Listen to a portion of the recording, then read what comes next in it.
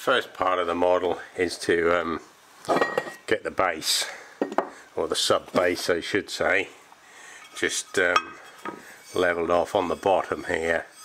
Um, I don't know what it's like. Yeah, we got a little bit of a little bit of a wobble in there. Um, and then of course I want to uh, check the dimensions off. Um, knowing the uh, the Hemingway kits, I'm guessing they're not going to be anywhere near. Most likely they're going to be too small, but I don't think that matters that much. Um, 7 and 3 eighths. Well, actually that's very slightly over there. Yeah, very slightly over, so there is a little bit of room, but that, that this dimension around here is not important because that just fixed down to the base. Which we can roughly measure with that. We got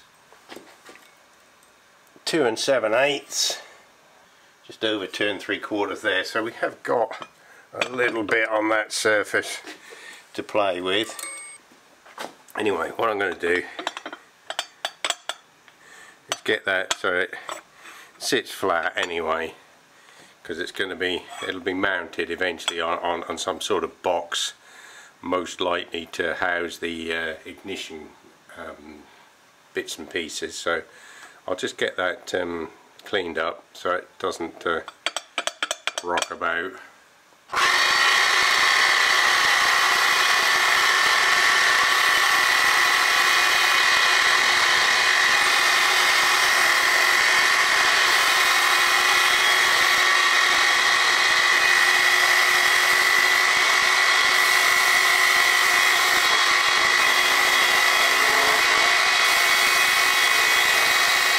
Right, that's enough. Right, I've got the uh, sub base trued up and we come to the more interesting part which is the main bed. Um, got to face these off at 30 degrees um, but also the bearing caps have also got to be machined because, try and show you, um, there is a reason for this, if I can find it. Here's the reason. Um, yep. Here's the reason. It's got to be one inch and three eighths to the center of the crankshaft and through the center of the bore for the um, cylinder.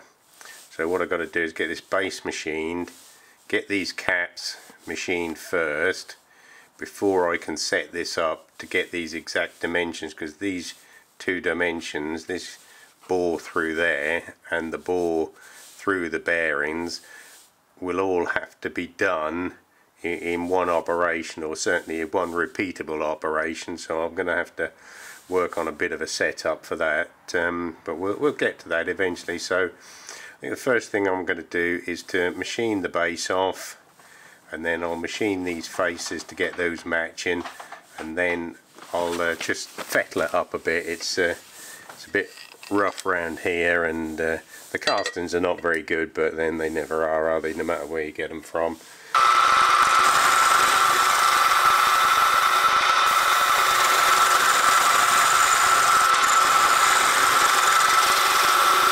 Hmm, Not very good that surface I'm afraid not as good as I would have liked.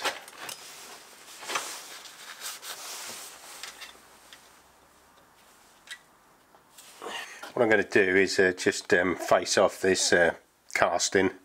Um, it's, it's a bit fatter that end than it is that end.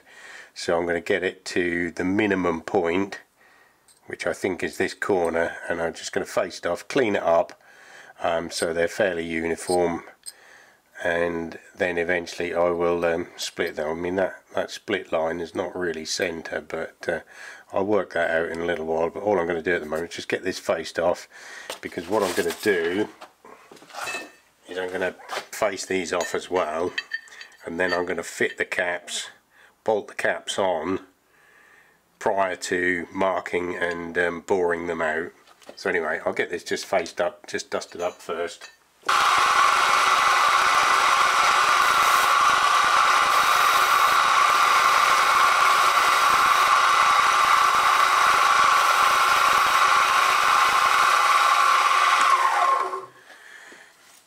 Thing I want to do is um, machine this piece up. Now unfortunately it, it's already down to dimension on that side um, of an inch and a quarter which means I can't machine out these casting marks so I'm sort of pretty stuck with them. Um, I might be able to fill them in later on um, if they bother me before I paint it. Um, so anyway what I'm going to do is get this piece down to dimension and then split it so I've then got the uh, the two bearing caps. Um, so first job just square this up a little bit where I can where I've got enough room left to, to mill some off and uh, then drill out the holes so I can fix it down to the base plate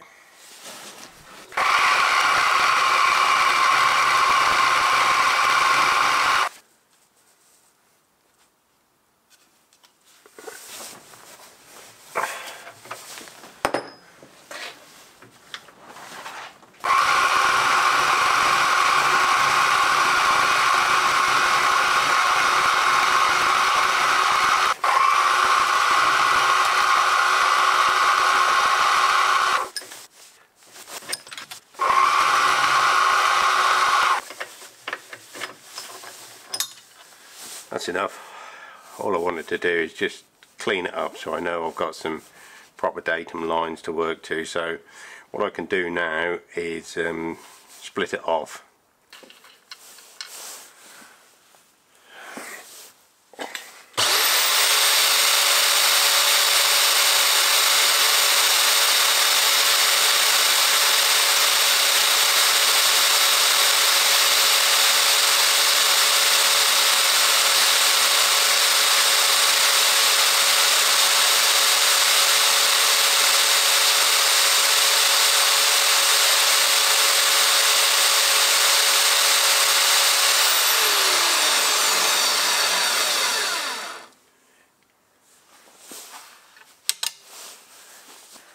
Right, got very to take off that side, so got to be careful that I don't overshoot.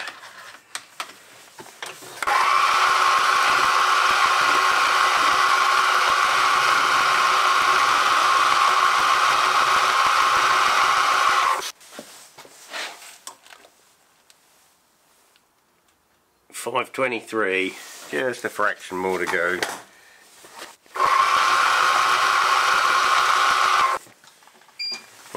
Zero the DRO now. Put a stop on. Right what I've done is um, zeroed the DRO so we just swap these over now. Put that one in that end. This one in that end. And then when I'm down to zero on the DRO I know this one will be correct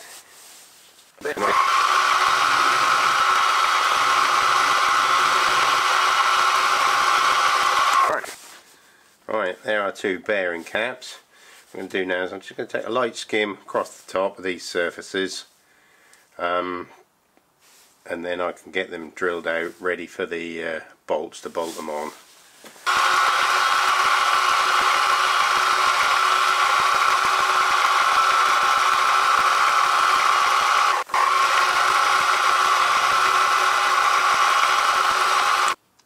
Anyway, I've just got the holes to drill in here and then they'll be ready to mount onto the base once I get these surfaces machined off. Right, what I'm going to do, I'm going to indicate off of the back jaw and off of this face so I can set up then for the uh, bolt holes. Right, I've got that position now, so what I'm going to do is put a stop on it so if I put a stop on there, I've got the table locked down on the uh, X and Y dimensions. So now all I've got to do is just slide them in and drill the holes.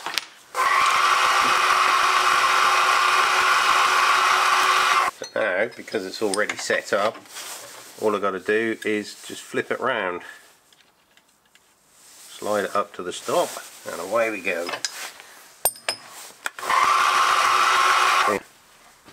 Something doesn't look right there. Something's gone wrong. Oh no. Oh no, oh no, oh no. Something's gone wrong. Somehow I haven't come across 250. Well I have come across 250. No um, I haven't. So what happened there then? Alright, I'll bring you back when I've worked out what I've done wrong.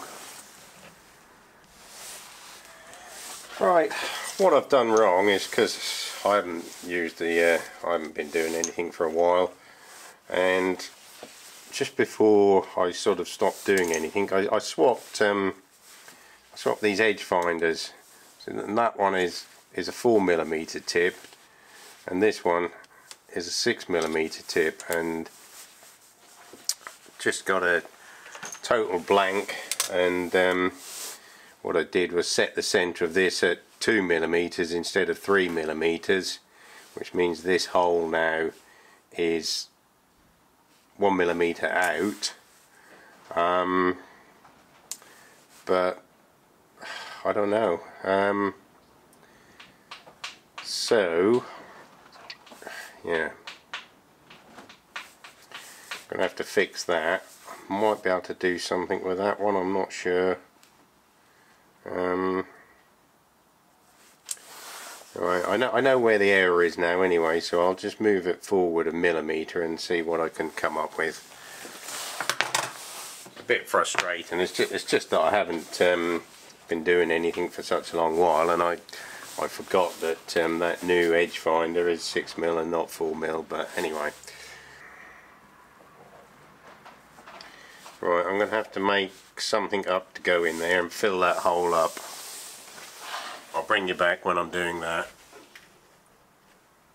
I'm going to turn a little, this is sort of cast aluminium, um, I'm going to turn a little pin and uh, use it to fill the hole and then drill another one alongside it and hopefully once it's bolted in it'll stop the fill from coming out.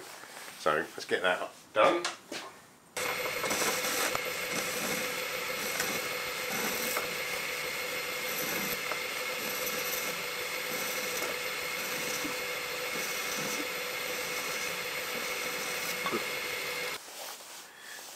Going to do now is put this in the vise and squash it down. Right, what I've done now is plug the hole. So I'm going to go back over to the mill and re-drill it in the right place. Right, drill that out, see what happens.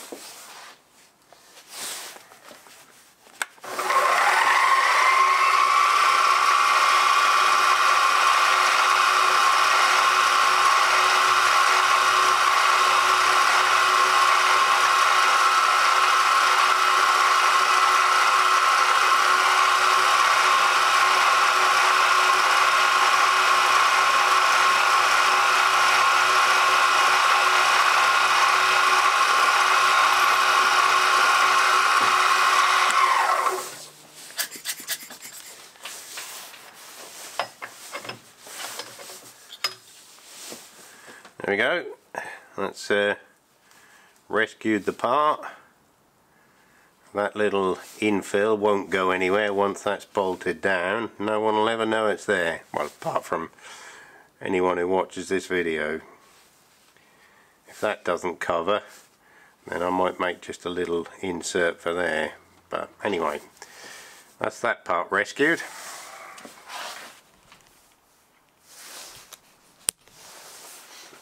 Right, the next part of the project is to um, mill these faces at 30 degrees, um, which is fairly straightforward. I just set it up on a 30 degree angle block. This little piece on the casting has been left in. Um, it's going to be cut off eventually but it's there so that um, it takes up the clamping forces. Otherwise it'd be difficult to clamp these these are showing as half an inch on the drawing um, showing an inch and three quarters between them.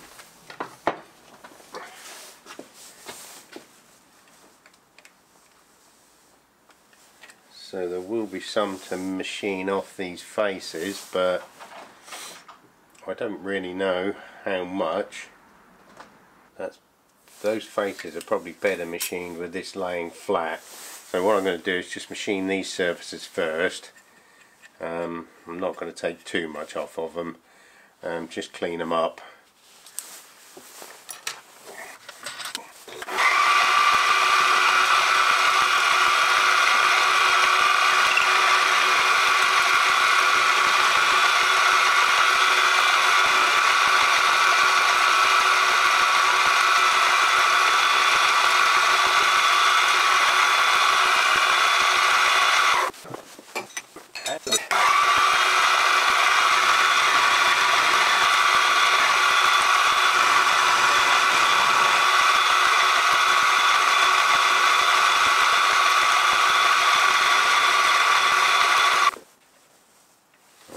I'm be able to machine all this bad casting away because I'd have to be right down to here. So I think I'm going to leave it there. I've got enough coverage for the bolts for it to sit down properly.